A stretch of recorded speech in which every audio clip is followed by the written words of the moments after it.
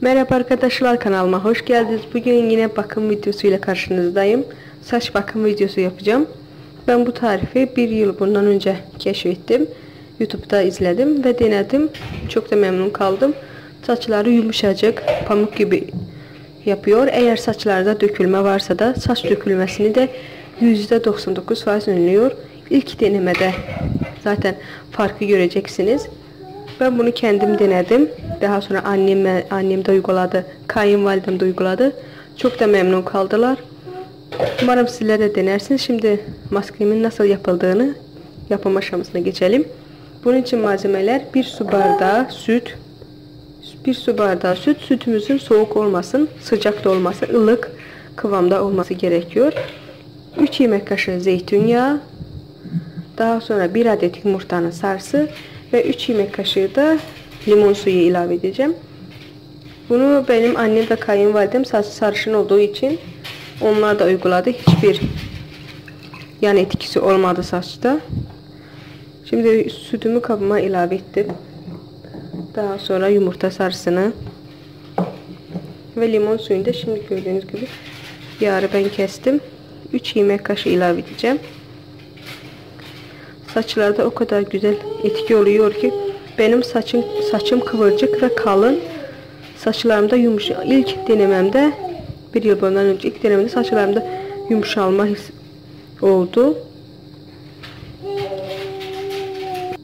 Şey limonun suyunu limon sıkacağında sıktım. Öyle daha kolay olacak. Şöyle bir yemek kaşığı ilave etmiştim. Şimdi ikinci yemek kaşığı ve gördüğünüz gibi 3 yemek kaşığı limon suyu ilave ettim. Şimdi ise içerisine 3 yemek kaşığı zeytinyağı. Muhakkak zeytinyağı kullanmanız gerekiyor. 3 yemek kaşığı zeytinyağı ilave edeceğim. Saçları yumuşaltıyor. Şimdi ilave ettiğim malzemeleri güzelce karıştıracağım. Bu şekilde güzelce çırpıcıyla karıştırdım. İyice tüm malzemeler birbiriyle karıştı.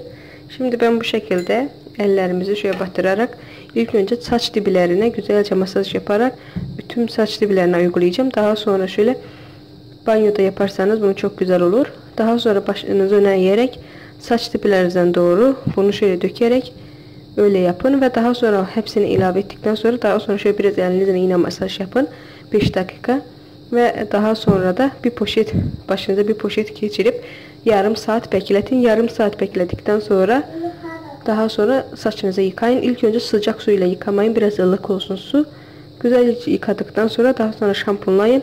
Ve hiçbir şekilde yumurta kokusu saçınızda olmayacak. Ben deniyorum ve ben bu maskeyi ayda bir defa uyguluyorum. Eğer isterseniz iki ayda bir.